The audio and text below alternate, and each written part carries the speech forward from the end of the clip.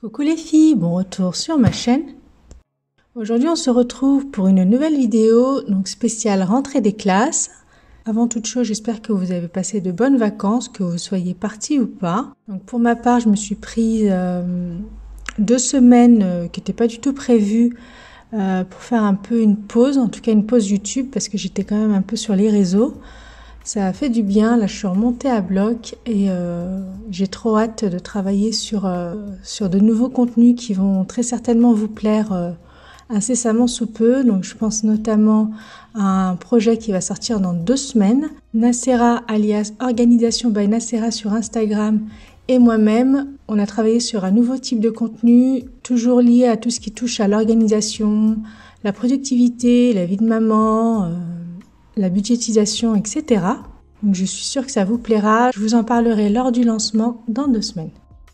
Et concernant justement la budgétisation, j'ai décidé de créer un nouveau compte euh, Instagram au début, je voulais pas faire trop trop de comptes Instagram parce que c'est quand même assez lourd à gérer, mais euh, je me suis rendu compte que sur mon compte euh, Maman Organisation, la partie budgétisation, bah, elle passait euh, au même niveau que la productivité, l'organisation, la parentalité, etc.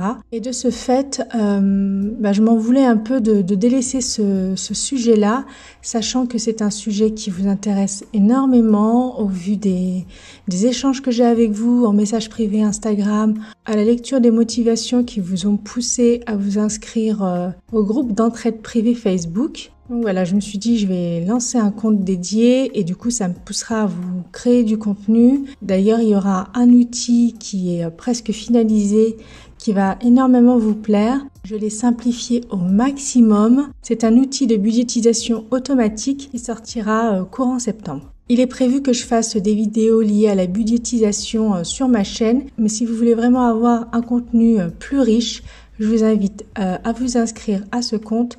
Le lien est en barre d'infos.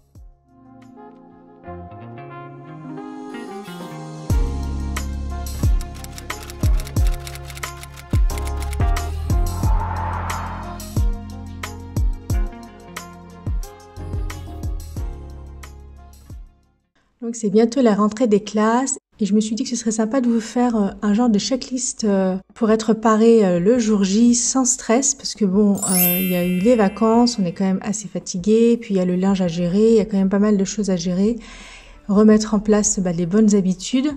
donc voilà, j'espère que ça vous plaira. Cet imprimé sera disponible sur mon blog. Le lien est en barre d'infos. Et avant de vous parler de cet imprimé plus en détail, je tenais à vous rappeler la marche à suivre pour accéder à la bibliothèque privée parce que j'ai énormément de questions. S'il vous plaît, vérifiez vos spams parce que souvent euh, les mails arrivent dans les spams. Donc pour les nouvelles, je vous laisse regarder ce tuto. Donc toutes les ressources gratuites sont désormais répertoriées dans une bibliothèque privée. Donc pour pouvoir y accéder, il faut vous inscrire à la newsletter. Donc là, j'ai eu beaucoup de questions à ce sujet-là et du coup, je voulais euh, m'attarder un petit peu euh, sur ce point. Pour accéder à la bibliothèque privée, c'est simple. Il faut vous inscrire à la newsletter. Ensuite, vous recevrez un mail qui vous demande de confirmer votre inscription. C'est pas que j'ai envie de vous spammer ou vous embêter ou quoi. C'est une obligation légale et c'est d'ailleurs pour ça que maintenant euh, il faut à chaque fois accepter les cookies quand vous arrivez dans un nouveau site ou un nouveau blog. Donc une fois que vous avez confirmé le mail que vous avez reçu, vous recevrez un deuxième mail.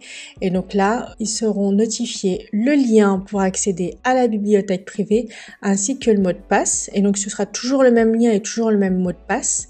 Donc une fois que vous aurez cliqué sur le lien de la bibliothèque privée, vous indiquez le mot de passe, vous cliquez sur entrée et puis vous pourrez euh, du coup télécharger comme vous le voulez par exemple, pour télécharger le premier planning ménage, vous cliquez sur l'image. Si vous préférez avoir la version vierge, vous cliquez juste en dessous dans le, ici coloré. À partir de là, le document s'ouvrira dans un nouvel onglet et vous n'aurez qu'à télécharger ou imprimer euh, le document.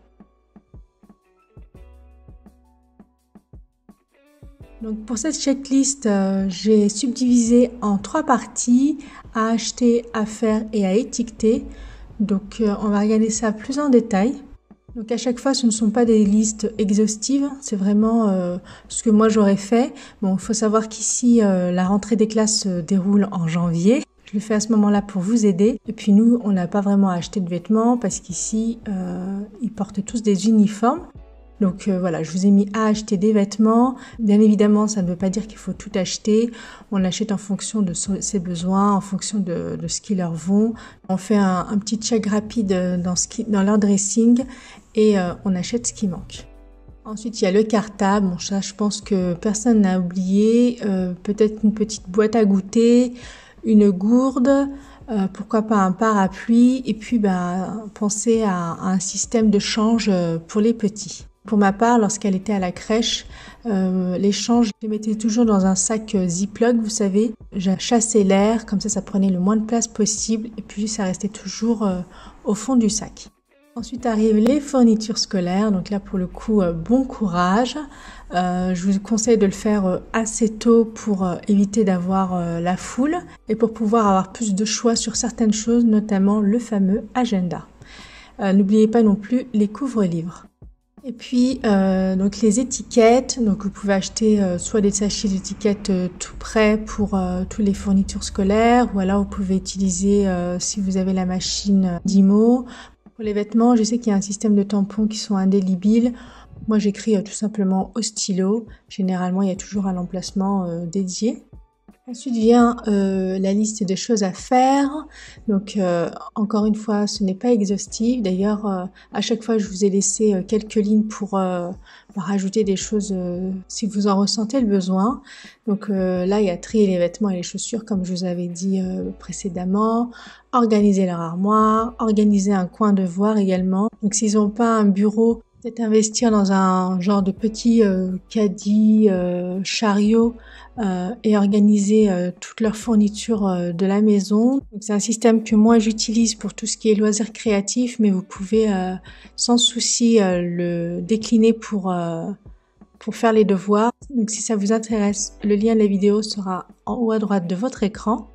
N'oubliez pas non plus, si c'est pas déjà fait, de laver euh, le cartable de l'an dernier ou la trousse, euh, si vous comptez euh, bah, les réutiliser pour cette année. le passage chez le coiffeur.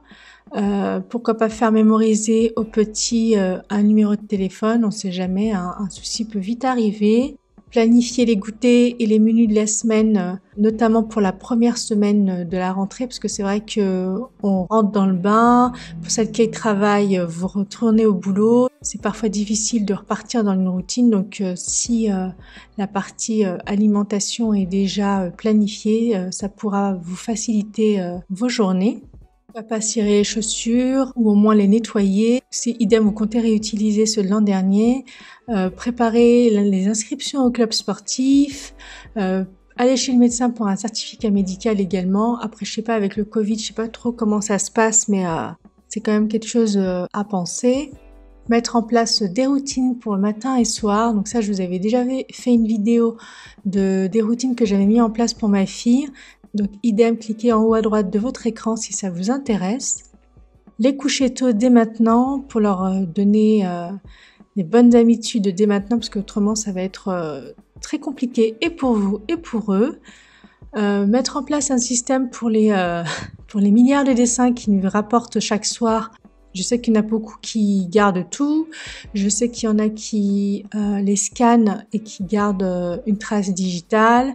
Donc voilà, c'est chacun, euh, chacun fait comme il veut, mais voilà, juste réfléchissez à un système qui vous convient.